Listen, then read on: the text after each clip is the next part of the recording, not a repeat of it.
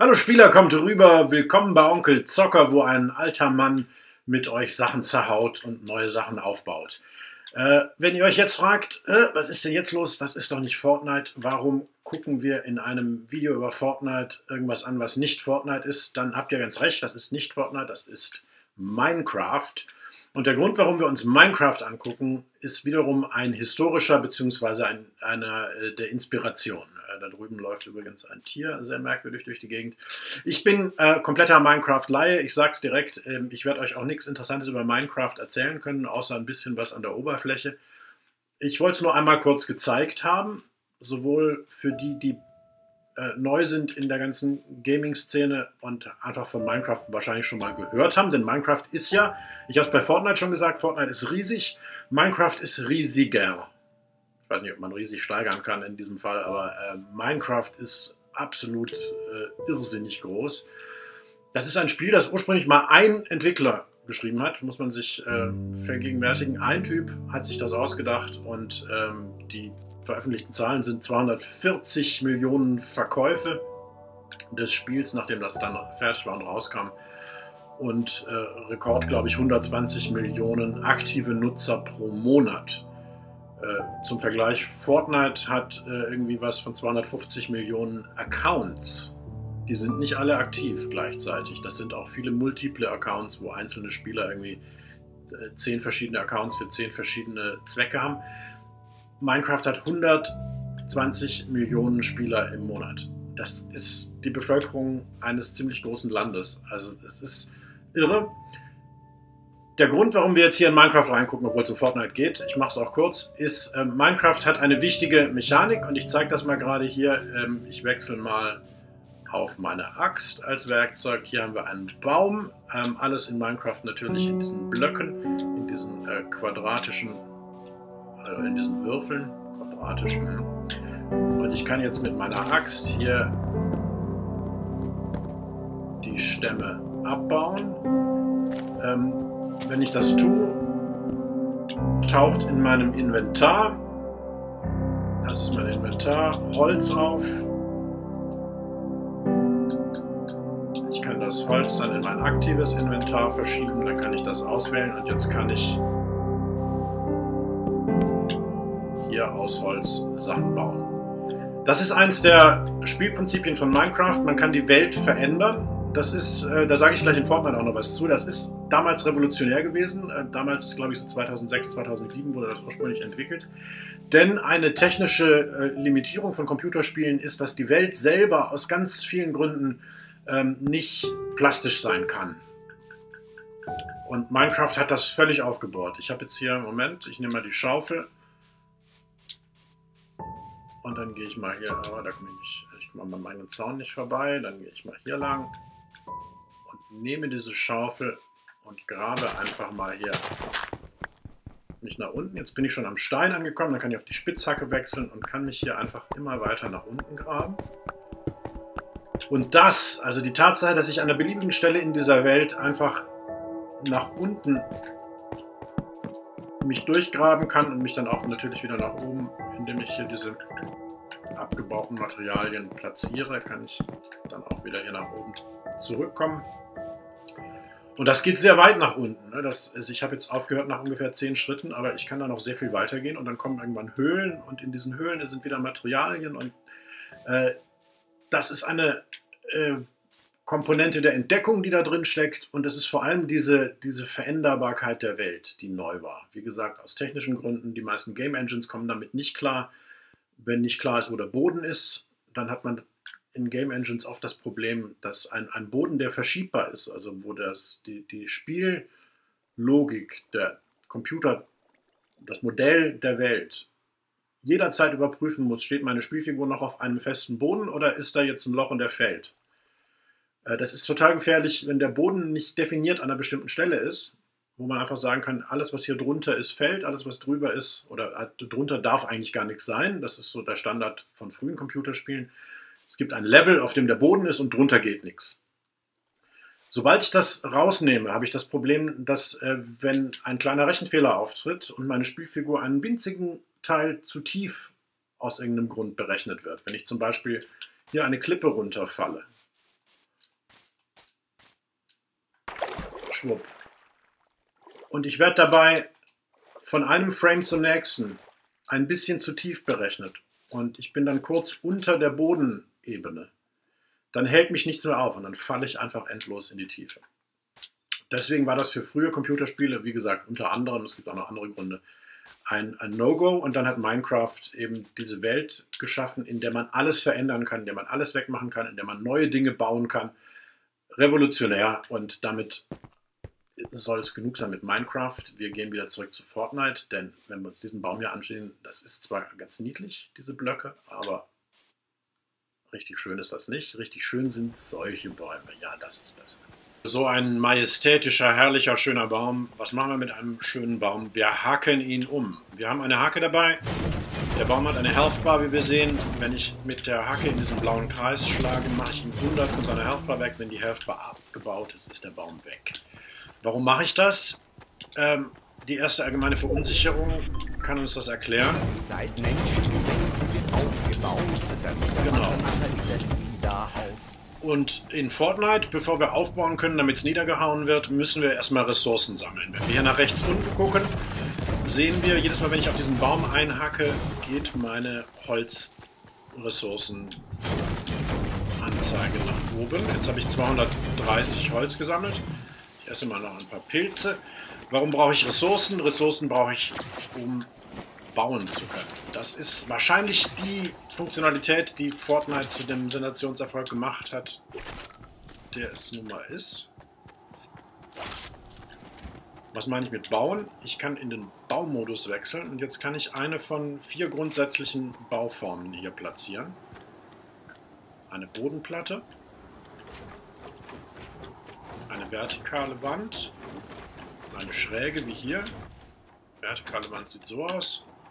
Und ich kann natürlich die Schräge dann hier auch in diese vertikale Wand für mehr Stabilität reinsetzen. Und dann kann ich noch äh, diese Dachpyramiden bauen, die auch die Wände sicherer gegen Angriff machen. Denn wenn ich diese Wände mir hier anschaue, die ich hier hingebaut habe, und nochmal wichtig, vielleicht an der Stelle ganz explizit das zu sagen, äh, in Spielen vor der Entwicklung dieser Mechanik war es immer so, wenn man was bauen konnte, dann war das eine geskriptete Sache. Das heißt, man musste irgendeine Vorbedingung erfüllen, Ressourcen sammeln, was auch immer das Spiel, der Plot erfordert.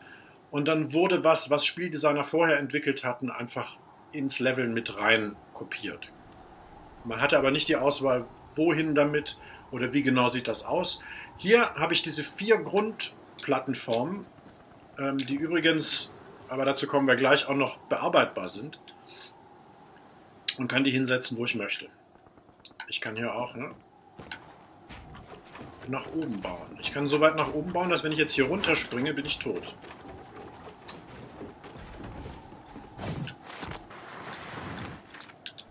Jetzt habe ich hier Gut, das hat jetzt Ressourcen gekostet. Wir waren gerade bei 230 Holz, jetzt sind es nur noch 100. Eine Wand, die ich baue, kostet mich 10 Ressourcen. Und es gibt nicht nur Holz, das sieht man ja da links unten, rechts unten. Es gibt auch Stein und Metall.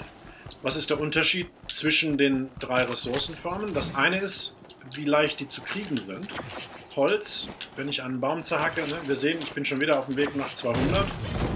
Das geht sehr schnell. Maximal kann ich 1000 von jeder Ressource halten. Das heißt, ich habe jetzt ein Viertel dessen, was überhaupt geht, habe ich mir mal schnell hier zusammengesammelt, indem ich ein paar Bäume zerhackt habe. Das ist beim Stein deutlich mühsamer. Beim Metall, das sehen wir gleich. Hier gibt es weder Stein noch Metall im Moment. Deswegen kann ich das nicht direkt demonstrieren, aber ich gehe mal hier rüber. Hier gibt es einen Stein. Also, ähm, hier vielleicht auch noch eine interessante interessantes Detail. Man könnte jetzt denken, hier ist Stein, hier kann ich jetzt graben. Das geht aber nicht. Und das liegt an dem, was ich gerade bei Minecraft schon erwähnt habe. Der Boden ist tabu in Fortnite aus diesen technischen Gründen. Das wurde in der ursprünglichen Version des Spiels war das tatsächlich vorgesehen, dass man auch graben kann. Aber man hat dann das Problem, dass man ähm, bestimmten, unter bestimmten Umständen durch die Map fallen kann. Und deswegen wurde das wieder aus dem Spiel genommen. Das heißt, der Boden ist nicht abbaubar, aber diese Steine, die rumliegen, sind es. Ja, das hat jetzt ein bisschen länger gedauert als bei den Bäumen, aber ich bin jetzt auch bei 200. Und wir können dann hier noch rübergehen, wo die Metallcontainer stehen und zum Vergleich mal Metall abbauen. Wir werden dann feststellen, Metall dauert das nochmal länger. Ja, das fühlt sich jetzt sehr, sehr lang an. Jetzt habe ich diesen ganzen Container mühsam hier zerhackt. Und am Ende habe ich gerade mal genug Metall für vier äh, Platten, Wände, Dächer, was auch immer ich damit bauen will. Aber vier davon kann ich jetzt bauen. Alles, was ich zerhaue, gibt mir Ressourcen. Manche Dinge vergleichsweise wenig. Für Holz sind Bäume eindeutig die beste Quelle.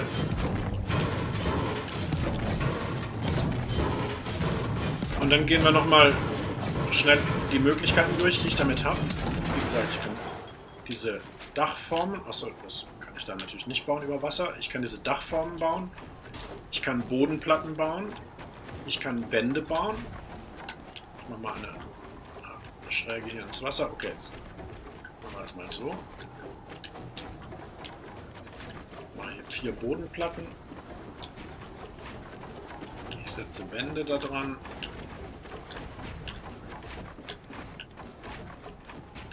Ich kann hier auch noch eine Schräge bauen und dem Ganzen ein Dach verpassen. Ich kann also komplette Häuser konstruieren und bauen. Jetzt kommt die Zone, deswegen machen wir uns mal hier aus dem Staub. Ähm, was hat das für einen Nutzen? Das hat zwei ganz grundlegend wichtige Funktionen. Die eine ist, wenn ich nach oben auf diesen Stein möchte, kann ich mir einfach eine Schräge bauen und fertig. Und die andere ist, wenn ich beschossen werde, kann ich aus dem Stand mir einen Schutz bauen. In anderen Spielen kann ich nur das zum Schutz benutzen, was die Spielentwickler vorgesehen haben. Wenn da irgendwo eine Wand steht, kann ich mich dahinter verstecken. Wenn da ein Fenster ist, kann ich mich neben dem Fenster aufstellen und durch die Öffnung rausschießen oder rausgucken.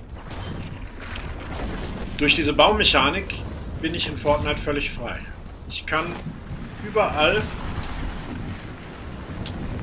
jederzeit mir eine Schutzfunktion hinstellen. Hier wurde jetzt gerade geschossen. Ich kann zum Beispiel mir auch eine Plattform bauen, von der aus ich äh, erhöht bessere Sicht habe. Oder hier in diesem Fall, ich weiß, dahinter sind Gegner, dann arbeite ich mich hier aufs Dach vor, habe dann eine sehr gute Sicht. Und da hinten sehen wir auch, die Gegner kämpfen hier auch sehr stark mit ähm, Baumechanismen. Das heißt, das sind wahrscheinlich zwei, mindestens ein äh, normaler Spieler, weil Computer, also diese Bot-Figuren können diese Türmchen nicht bauen, die wir da gerade gebaut sehen. Die bauen auch mal eine einzelne Bodenplatte, aber ähm, so kompliziertes Zeug kriegen die nicht hin. Das heißt, da ist jetzt wahrscheinlich irgendwo ein Spieler drin, der auch einigermaßen gut ist.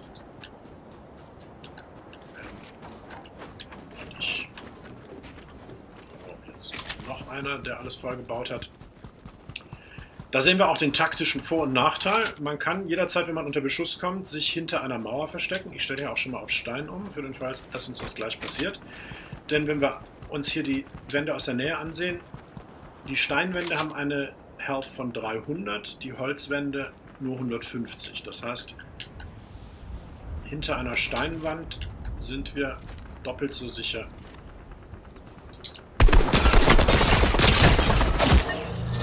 wie hinter einer ähm, Holzwand und, und Metallwand hat 500. Da sind wir nochmal sicherer dahinter. Was ich jetzt nicht zeigen konnte, weil ich so schnell gestorben bin, wir starten einfach nochmal eine neue Runde, ähm, ist die Baumechanik ist so, dass wenn ich eine Wand hinstelle, die mit einer Grundhealth startet, das sind 90, glaube ich, für ähm, Holz und Metall, äh, Holz und Stein und 110 für Metall. Und dann baut sich das langsam auf bis auf den Maximalwert. Also von 90 auf 150 für Holz, auf 300 für Stein, auf 500 für Metall.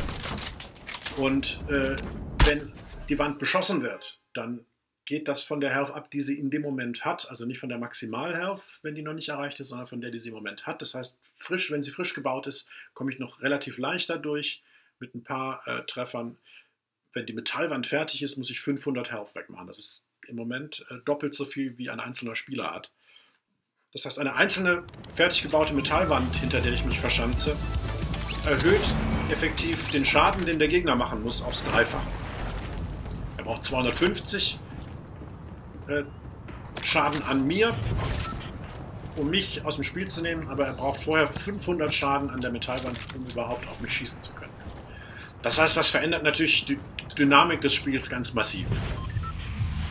Dazu kommt, dass die, die äh, Topografie, also wo in der Landschaft ich hin kann, in welche Höhe ich kann, aus welcher Höhe ich den Gegner sehen kann, ähm, in gewisser Weise unter meiner Kontrolle ist. Ich kann natürlich nicht völlig frei beliebige Höhen erreichen, ähm, auch weil, das versuche ich gleich nochmal zu zeigen, ähm, anders als in Minecraft, wo wenn ich den Baum, das hat, hat man ja gesehen, ich habe den Baum die unterste Ebene des Stammes abgehackt, das, der Rest des Baums war davon unbeeindruckt und ist einfach stehen geblieben. Das ist in Fortnite anders. Das demonstriere ich gleich mal, sobald wir gelandet sind. Ich fliege jetzt mal nicht so weit raus, ich hoffe, das geht gut. Ähm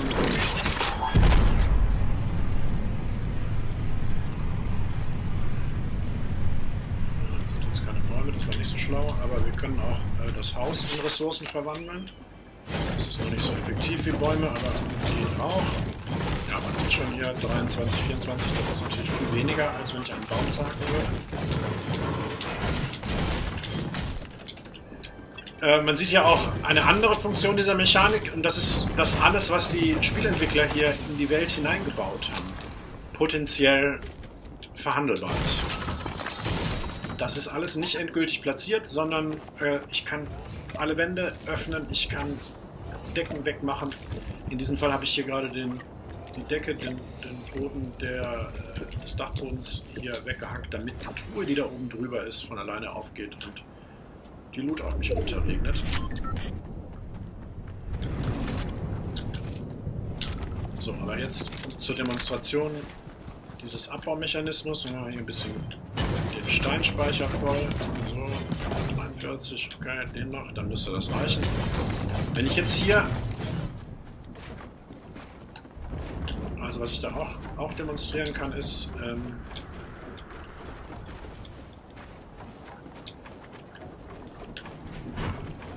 sobald, jetzt habe ich noch 20, jetzt habe ich noch 10, jetzt ist mein Holz verbraucht, dann stellt Fortnite automatisch, wenn ich jetzt noch eine baue, um auf Stein. Hier sehen wir jetzt, hat bei 110 angefangen, geht bis 280 Maximalwert für die Schräge. Die Schräge hier hat 140, eine senkrechte Wand, das hatten wir letztes Mal schon gesehen, hat ein bisschen mehr, hat 300, fängt auch bei 110 an. So, die Demo, die ich jetzt machen möchte, ist, das kann man alles natürlich auch relativ leicht sagen. Ah, da ist jetzt noch eins, das muss auch noch weg. Man kann es zerschießen. Und jetzt kommt die Abbaumechanik, die ich meinte. Ich habe hier jetzt vier Schrägen übereinander gebaut. Wenn ich die unterste davon zerschlage, werden die anderen von unten nach oben aufgelöst. Sobald die keine Unterstützung, keine Verbindung zum Boden mehr haben, und das kann auch seitlich sein, also wenn die jetzt, deswegen habe ich hier vorher den Verbinder weggemacht zu diesen Schrägen, die ich dahin gebaut habe, denn die haben hier eine Verbindung zum Boden und dann hätte ich die unterste wegmachen können und es wäre nichts passiert mit dem Rest. Aber sobald das völlig frei in der Luft hängt, löst es sich auf. Das ist taktisch extrem wichtig, denn wenn ein Spieler sich einen hohen Turm baut oder eine hohe Schräge baut, um von da einen besseren Überblick zu haben, und ich kann aus großer Entfernung die unteren Ebenen dieser Schräge wegschießen, dann fällt der Spieler runter und wenn er tief genug fällt, ist er tot. Das heißt, wir haben eine ganz neue strategische Möglichkeit des Kämpfens, die gar nichts mehr mit direktem Schaden zu tun hat, sondern wirklich über die Manipulation der Umwelt funktioniert. Jetzt, was nicht geht, ist Bodenzagen. Das kann ich hier mal gerade demonstrieren. Auch dieser Stein hier, der ist Teil des Leveldesigns. Der ist rausgenommen. Das hat diese technischen Gründe, die ich bei Minecraft vorhin erklärt habe. Wenn der Boden zerhackbar ist, bekomme ich diese technische Schwierigkeit, dass die sogenannte Collision Detection und die Frage, falle ich durch den Boden oder nicht, ähm, sehr, sehr schwierig wird. Und bei Fortnite hat man damit experimentiert tatsächlich, als das Spiel in der Entwicklung war ursprünglich und festgestellt, das kriegen wir nicht hin. Ähm, und das ist sehr, sehr frustrierend, wenn die Spieler dann durch den Boden fallen.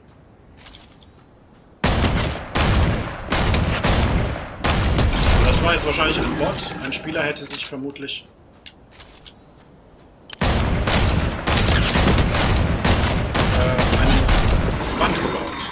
Wir sind jetzt im Baumodus. Das heißt vor allem, da ist jetzt jemand mit einem Teleportationsdevice in die Luft gesprungen. Ich wollte sehen, aber nicht. Gut.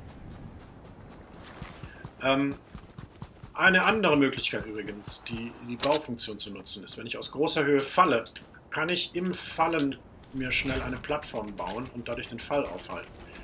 Bis zu drei Stockwerke kann ich ja fallen, ohne tatsächlich Schaden zu nehmen. Das heißt, so kann ich auch aus größerer Höhe springen, vorausgesetzt, da ist eine Wand in der Nähe, die äh, meine gebauten Flächen aufnehmen kann. Denn in die Luft bauen kann ich nicht. Äh, es muss immer eine Unterstützung haben. Wie gesagt, alles, was in der Luft frei hängt, wird vom Spiel rausgenommen und frei in die Luft zu bauen geht gar nicht erst.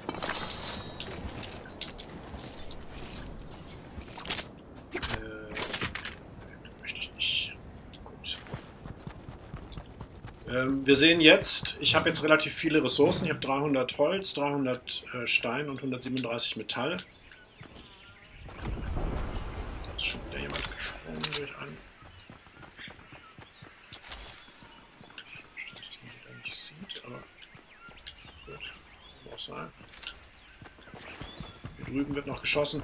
Ich glaube, das reicht eigentlich auch schon als Einblick. Wir können jetzt noch das äh, zu Ende spielen, bis uns ein überlegener Spieler hier aus der Runde nimmt und dann vielleicht hoffentlich äh, noch sehen, wie die richtigen Profis das Bauen nutzen, denn eine Funktion zum Beispiel, die sehr beliebt ist, ist, was ich jetzt hier mal versuche zu simulieren. Ich kann das nicht richtig, deswegen wird das wahrscheinlich eher peinlich ausfallen, aber man kann sich ja, das ist gerade zum Beispiel jetzt schon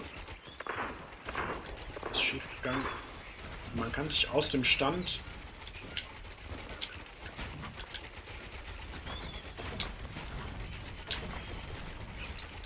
ein Türmchen hier hinstellen, in dem man relativ geschützt ist. Man kann sich hier zurückziehen hinter die obere Zeile. Man hört jetzt um mich rum, wird das alles zu Ende gebaut. Wie gesagt, das ist alles mit Zeitverzögerung, aber jetzt gleich ist die letzte Stufe erreicht. Von hier kann man natürlich dann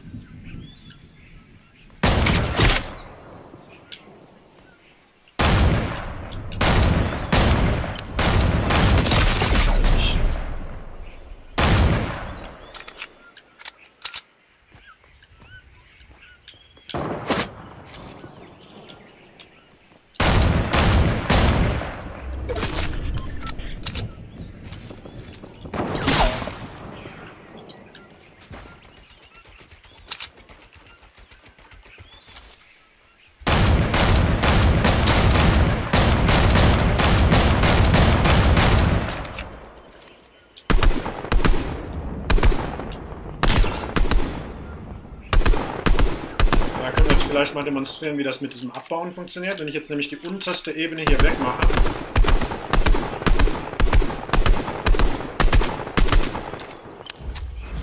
dann löst sich der Rest des Gebäudes auf. Das bringt uns jetzt natürlich gar nichts, weil der schon längst woanders war.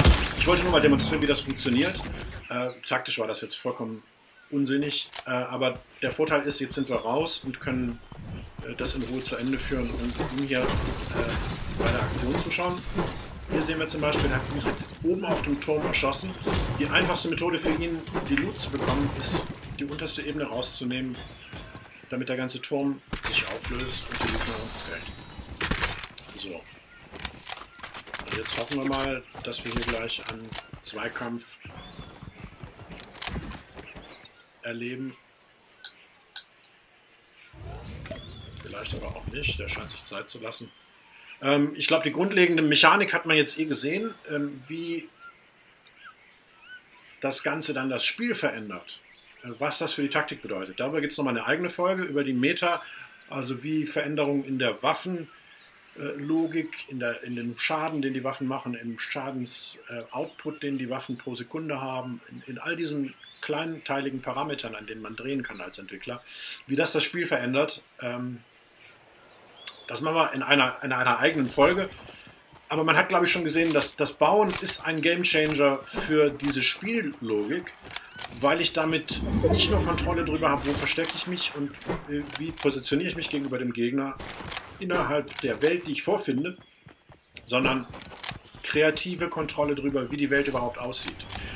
Und äh, mir Positionen erschließen kann, die vom Entwickler gar nicht vorgesehen sind. Und damit ähm, auch völlig überraschende Dinge tun kann. Und tatsächlich ähm, die Fähigkeit, denn das ist ja das, was das Spiel an sich interessant macht, äh, wenn der Ausgang von Zweikämpfen eben nicht wie bei vielen Spielen ein bisschen Glückssache ist und vielleicht dann noch, wie gut man zielen kann, aber wenig äh, kognitive Fähigkeiten Sinne von Strategie oder, oder Taktik äh, und, und äh, gezieltem Vorgehen enthält. Ja, jetzt endlich fängt, fängt es hier ein bisschen mit Bauen an. Er wird jetzt ähm, sich eine Sprungplattform da oben hinbauen. Das hat er gerade aufgesammelt, unmittelbar nachdem er uns aus dem Spiel genommen hat. Äh, dachte ich jedenfalls, dass er das macht. Ja. Jetzt müsste er da eine Sprungplattform hinbauen und dann kann er... Ja, da ist sie. Dann kann er sich nämlich in die Luft katapultieren und mit dem Fallschirm ähm, die große Entfernung bis zur Zone zurücklegen. Okay, das ist. Es gibt immer, immer noch weitere Details zu klären. Es gibt äh, verschiedene Subformen von Bauen. Was wir jetzt gar nicht gezeigt haben, ist, wie man das Gebaute äh, bearbeiten und verändern kann. Es gibt nämlich nicht nur diese Schrägen und diese Wände, man kann Türen da reinmachen, man kann Fenster da reinmachen, man kann die Schrägen in Treppen verwandeln, man kann die öffnen, man kann die Wände öffnen, man kann die Dächer editieren, sodass die nicht diese Pyramidenform haben, sondern eine andere. Das ist alles noch, noch viel kreativer, als das jetzt schon wirkt, aber ich glaube, man hat einen Eindruck bekommen, äh, wie sehr das die Qualität dieses Spiels verändert. Ähm, das ist im Prinzip ein anderes Spiel als das, was ich in den ersten beiden Folgen gezeigt habe. Da ging es nur um die Battle Royale und Shooter-Logik. Durch diese Baumechanik ist das eine eigene Sache geworden. Und wie gesagt, das ist, glaube ich, der Grund, warum Fortnite so erfolgreich ist. Nächstes Mal reden wir darüber, äh, wie alle diese taktischen Details den Spielverlauf beeinflussen können, äh, was das für Konsequenzen hat, ähm, auch äh, was das für zum Beispiel Kontrast zwischen verschiedenen Seasons bedeutet. Für heute war es das. Danke fürs Zuschauen. Bis zum nächsten Mal bei Onkel Zucker. Tschüss.